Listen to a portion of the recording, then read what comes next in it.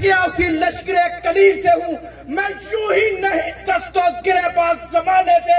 मैं जिस जगह पे खड़ा हूँ, किसी दलील से हूँ। तालियों, नारों की गूंज में इस्तेमाल करे। एमपीए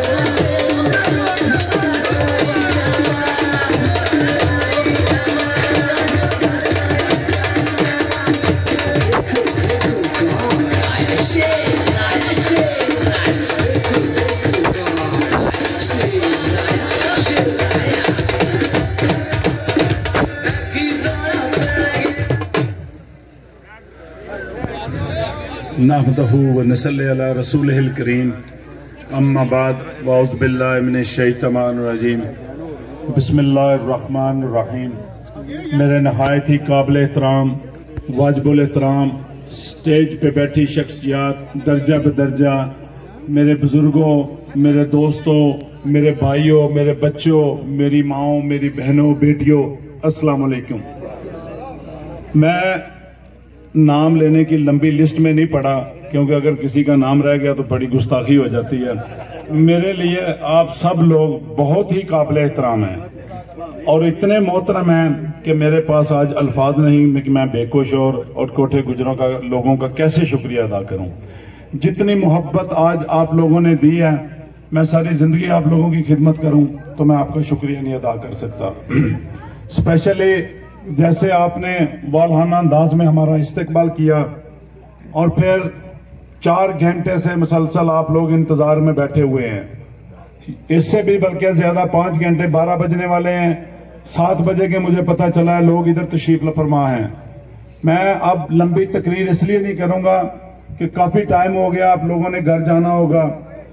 काफ़ी मकर्रीन ने जो मुझसे पहले किए हैं, उन्होंने कोई कसर छोड़ी नहीं है कि जो मैं बात कर सकूँ।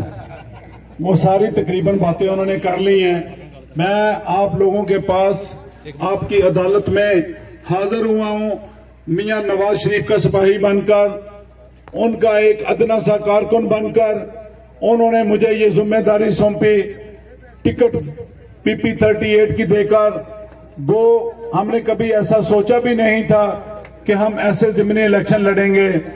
हम इलेक्शन बाद हैं, इलेक्शन लड़ते हैं और आगे भी लड़ेंगे इन ताला। लेकिन ये ऐसा नहीं सोचा था कि कभी मेरे बड़े भाई खुश अख्तर सुबानी साहब का इस दुनिया फानी से चले जाना और फिर दोबारा तीन दिन के बाद हमारे मुखालफिन की बुखलाहट का शिकार, उन्होंने तीन दिन हमें पूरा सोग भी मनाने नहीं दिया और इलेक्शन शेड्यूल अनाउंस कर दिया।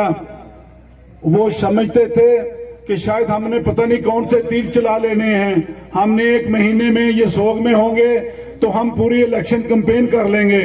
ये एक महीना छोड़ के एक साल भी कोशिश कर लेंगे, इनका कुछ नहीं बनेगा। इन अल्लाह के फजल करम से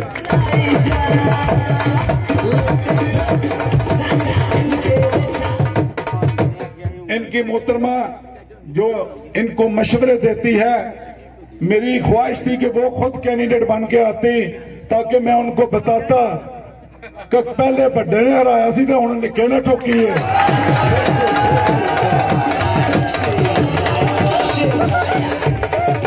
लेकिन लेकिन उनके लीडरान और उनको भी पता था कि काम बड़ा औखा है। इतने गल नहीं बननी। तो कोई नवी पार्टी लभो तो नवी पार्टी उन्होंने बलूंगड़ा लिया है।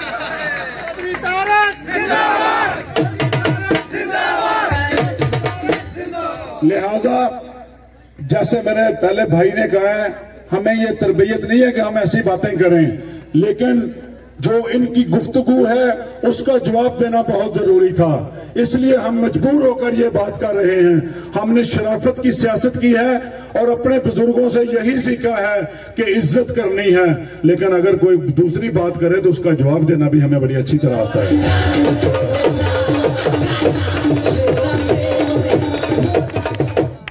ये गमान है कि शायद ये गवर्नमेंट के उम्मीदवार हैं तो पता नहीं क्या तीर चला लेंगे। असि डसके नहीं चलन दिते थे फिर पीपी थर्टी आए थे मैं गवर्नमेंट न कराना चाहना वा। असि बड़े पुरअमन लोग बड़े पुरसकून लोग शांति ईमान नाल इलेक्शन माहौल प्रोवाइड किया जाए दोनों पार्टियाँ और फैसला खल के खुदा दी आवाम करेगी। फैसला फैसला हो चुके है। आज आगे पेको शोर्च में अपने मुखालफी चैलेंज कर दा के आगे पेको शोर्च देखो रेफरेंडम हो चुका है। अल्लाह के फजलो करम इन्हों दसिया जमानत जबत करा देनिया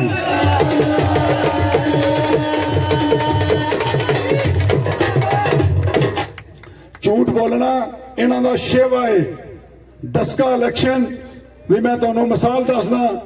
ਇਹਨਾਂ ਦਾ ਸ਼ੇਵਾ ਹੈ ਡਸਕਾ ਇਲੈਕਸ਼ਨ ਵੀ ਮੈਂ ਤੁਹਾਨੂੰ ਮਿਸਾਲ ਦੱਸਦਾ ਕਿ ਡਸਕੇ ਰਿਟਰਨਿੰਗ ਅਫਸਰ ਅੰਦਰ ਬੈਠ ਕੇ ਤੇ ਕਾਊਂਟਿੰਗ ਕਰਦੇ ਆ ਤੇ ਫੈਸਲੇ ਦਾ ਵੇਟ ਕਰ ਰਹੇ ਆ ਅਸੀਂ ਬਾਹਰ ਬੈਠ ਕੇ ਫੈਸਲਾ ਉਹਨੇ ਸੁਣਾਣੇ ਤੇ ਇਹਨਾਂ ਨੂੰ ਬਾਹਰੋਂ ਫੋਨ ਆਉਂਦੇ ਨੇ ਅਸੀਂ ਜਿੱਤ ਗਏ ਆ ਉਹ ਇਹਨਾਂ ਦੇ ਅੱਬਾ ਜਾਨ ਨੇ ਫੋਨ ਕਰਕੇ ਦੱਸਿਆ ਤੁਸੀਂ ਜਿੱਤ ਗਏ ਦੱਸਣਾ ਤੇ ਰਿਟਰਨਿੰਗ ਅਫਸਰ ਨੇ ਆ ਅਸੀਂ ਉਹਦੇ ਬੂਹੇ ਅੱਗੇ ਬੈਠੇ ਨੇ ਵੇਟ ਕਰਨ ਦੇ ਇੰਤਜ਼ਾਰ ਕਰਦੇ ਪਏ ਕਿ ਸਾਨੂੰ ਜਵਾਬ ਦਿਓ ਲਿਹਾਜ਼ਾ ਇਹਨਾਂ ਨੂੰ ਤਰਬਈਏ ਇਹਨਾਂ ਦੇ ਲੀਡਰਾਂ ਜਿਨ੍ਹਾਂ ਕੰਟੇਨਰ ਤੇ ਖਲੋ ਕੇ ਸਵਾਏ ਝੂਠ ਦੇ ਔਰ ਪਕੜ ਬਕਵਾਸ ਤੋਂ ਇਲਾਵਾ ਕੁਝ ਨਹੀਂ ਕੀਤਾ ਇਸ ਕੌਮ ਨੂੰ ਇਸ ਨੌਜਵਾਨਾਂ ਨੂੰ ਪੁੱਠੇ ਰਸਤੇ ਤੇ ਲਾਇਆ ਹੈ ਬਦਤਮੀਜ਼ੀ ਸਿਖਾਈ ਹੈ ਲਿਹਾਜ਼ਾ ਸਾਡੇ ਕਾਇਦੇ ਮੋਹਤਰਮ ਮੀਆਂ ਨਵਾਜ਼ ਸ਼ਰੀਫ ਸਾਹਿਬ ਨੇ ਹਮੇਸ਼ਾ ਕਦੇ ਇਹਨਾਂ ਦੀਆਂ ਗੱਲਾਂ ਦਾ ਜਵਾਬ ਨਹੀਂ ਦਿੱਤਾ ਸਿਰਫ ਇਸ ਵਾਸਤੇ ਨਹੀਂ ਦਿੱਤਾ ਕਿ ਉਹਨਾਂ ਦੀ ਵੀ ਸਾਨੂੰ ਇਹ ਤਰਬਈਅਤ ਹੈ ਕਿ ਨਹੀਂ ਇਹਨਾਂ ਨੂੰ ਮੂੰਹ ਨਹੀਂ ਲਾਣਾ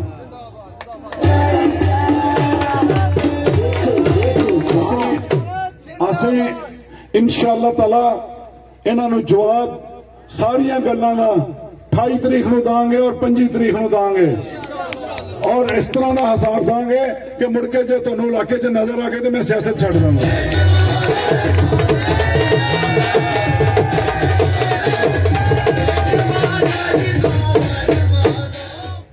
ਮੈਂ ਤੁਹਾਨੂੰ ਲੋਕਾਂ ਨੂੰ ਇਹ ਸਿਰਫ ਯਾਦ ਕਰਾਉਣਾ ਚਾਹੁੰਦਾ ਕਿ ਇਹ ਤੁਹਾਡੇ ਤੇ ਇੱਕ ਕੌਮੀ ਫਰੀਜ਼ਾ ਹੈ जरा अदा कर जा रहे हो अठाई तरीक न और पी तरीक नोग ने इलेक्शन दिन सिर्फ़ पीपी थर्टी एट पेकोशोर या पीपी थर्टी एट की नुमाइंदगी नहीं करनी तो नुमाइंदगी करनी है पाकिस्तान की बाईस करोड़ आवाम की बाईस करोड़ आवाम इस वक्त थोड़े देख रही है कि पीपी थर्टी एट तहसील सियाल कोट भी आवाम की फैसला कर दी है इस महँगाई के खिलाफ, इन चोरों के खिलाफ, इन झूठों के खिलाफ ये क्या फैसला करती है कि क्या इनको हक देना चाहिए दोबारा हुकूमत करने का और या इनको घर भेजना चाहिए?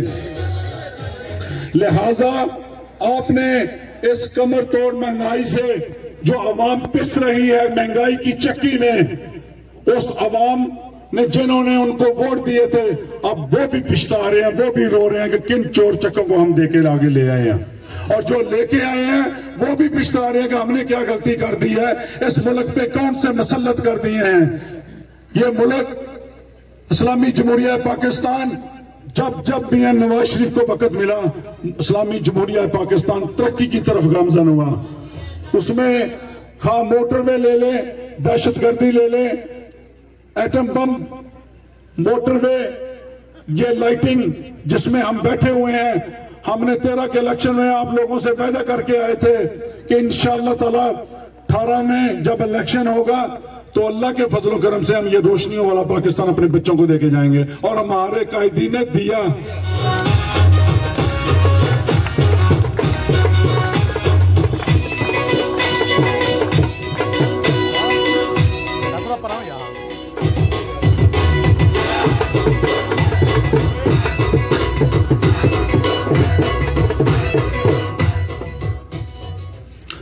फैसला आप लोगों ने करना है। उसकी वजह यह है कि आप, ये घर घर की लड़ाई है, जिस महँगाई की चक्की में हम लोग पिस रहे हैं माँ बाप अपने बच्चों को देख के परेशान होते हैं और बच्चे माँ बाप को देखकर परेशान होते हैं जो घर में हो रहा है। तीन टाइम खाना नहीं मिल रहा किसी को, दो टाइम खाना खाने पे लोग मजबूर हो रहे हैं। सिर्फ़ इसी वजह से कि महँगाई इतनी हो गई है, वो अफोर्ड ही नहीं कर सकते। उसके अलावा हर रोज, हर हफ़्ता, हर महीना आपको बिजली के बिलों में इजाफा होता है। अभी दो चार दिन की बात है, इन्होंने पेट्रोल में इजाफा किया। अभी आने वाले दिनों में ईद से पहले ये आपको एक और तोहफा देंगे। घी महँगा होने जा रहा है, ताकि आप आप ईद की खुशियाँ भी अच्छे तरीके से ना मना सकें। ये फैसले, गैस, बिजली, दवाइयाँ, आप देखें, जो बूढ़े माँ बाप घरों में होते हैं, ये बच्चों का फ़र्ज़ होता है कि उनकी देखभाल करना, उनको डॉक्टरों के पास लेके जाना, उनको दवाइयाँ मुहैया करना। आज बच्चे बेचारे शर्म के मारे छुपते फिरते हैं माँ बाप से कि कहाँ लेके जाए। वो दवाइयाँ अफोर्ड नहीं कर सकते 300 परसेंट दवाइयाँ महँगी हो गई हैं। वो कहाँ से दवाइयाँ लेके अपने माँ बाप को दें? अगर तो वो दवाइयाँ देंगे तो खाना भी अपने बच्चों को दे सकेंगे। अगर खाना देंगे तो माँ बाप को दवाइयाँ नहीं दे सकेंगे। ये फैसला आप लोगों ने करना है और मेरी माओ बहनों ने करना है जो घरों में बैठी हैं कि इसका हकदार और इसका जुर्म कौनदार है? जो जुर्मदार है, वो ये हुकूमत है और उसके हवारी हैं जो चोर उसके साथ बैठे हुए हैं। ये कहता था कि मियाँ नवाज़ शरीफ की टीम चोर है। मियाँ नवाज़ शरीफ ने छठे तीन साल हो गए ना हूँ की हो गया हूँ किधर जा रहा सारा पैसा? चोर तो जेलों चले हूँ पैसा कौन खांदा पिया है? हमारे कायदे मोहतरम, मेरे बुज़ुर्ग मोहतरम ख्वाजा आसफ साहब छह महीने सेल काट के अभी पिछले चंद दिन पहले रहा हुए हैं। एक जुर्म साबित नहीं कर सके, क्या साबित करना तो बड़ी दूर की बात है, केस भी दायर नहीं कर सके, इनके पास कोई सबूत ही नहीं है। तो लिहाजा ये मियाँ नवाज़ शरीफ के शेरों को जेलों में बंद करके क्या पाकिस्तान की भूख मिटाएँगे? नहीं, ये नहीं हो सकता। अगर ऐसे भूख मिटेगी तो ये सारे शेर जाने के लिए तैयार है जेलों में।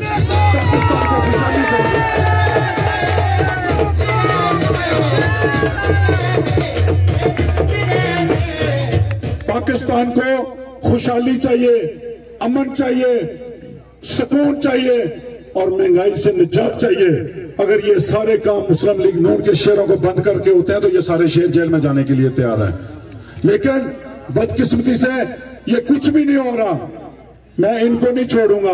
घबराना नहीं है। ओ यार, घबराइए ना, हम तो मरण का टाइम आ गया तो कहना घबराना नहीं है। तो खुदा वास्ते ये फैसले आप लोगों ने करने हैं। ये अल्लाह ताला ने आपको ताकत दी है। आपके वोट में इतनी ताकत है। कि आप हमारे कायदे मोहतरम मियाँ नवाज़ शरीफ की उस बयानी को हमने मुस्बत साबित करना है, उसको इंडोर्स करना है कि मियाँ नवाज़ शरीफ जो जंग लड़ रहा है इस अवाम के लिए, वही सही जंग है और वही इस मुल्क का मुस्तकबिल है।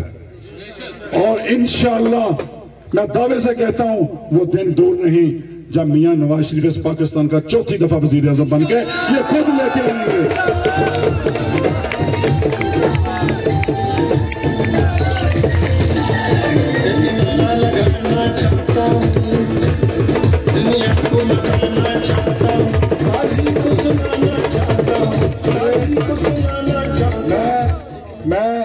बस ये इख्तिताम तक पहुँचने वाला हूँ। मैं सिर्फ़ ये बताना चाहता हूँ कि 25 तारीख को जैसे मेरे भाइयों ने भी पहले ज़िक्र किया है कि आपकी कामयाबी अब आपके पास है। आप घर घर जाएँगे घरों से अपनी माओ बहनों को, बेटियों को, बुज़ुर्गों को निकाल के पोलिंग स्टेशन पे वोट कास्ट कराना, ये सबसे बड़ी कामयाबी है आपकी। दो दिन आपने लगाने हैं 25 और 28 को।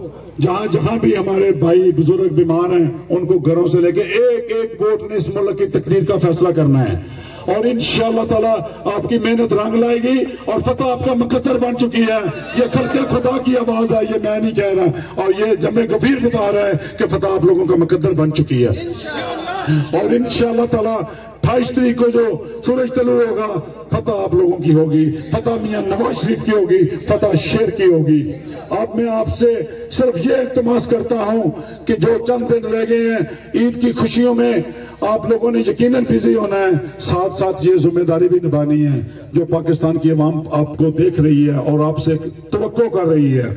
आपने भरपूर तरीके से डोर टू डोर कंपेन करनी है और अपने मुखालफिन को इतनी इबरतनाक शिकस्त देनी है। वो दोबारा सोचेंगे भी नहीं इधर आने का। आप मियाँ नवाज़ शरीफ के शेर हैं, वरियो खानदान के शेर हैं। आपने शेरों वाला फैसला करके मियाँ नवाज़ शरीफ के शेर पे मोर लगा के शेरों को कामयाब कराना है। इसी में हम सबकी बेहतरी है, इसी में पाकिस्तान की बेहतरी है। अब मैं नारा लगाऊँगा, मुझे यकीन है कि आप भरपूर तरीके से उसका साथ देंगे। पाकिस्तान! पाकिस्तान! मियाँ नवाज़ शरीफ! वोट को शुक्रिया थैंक यू पीको शोर थैंक यू कोटे गुजरा बहुत मेहरबानी। दूसरे दोस्त जो दूसरे गाँव से आए हैं। मैं उनका मशहूर हूँ, उनका ममनून हूँ। इन ताला, अब इलेक्शन कंपेन हम और तेज कर देंगे। इनकी नींदें हराम हो जाएँगी इंशाल्लाह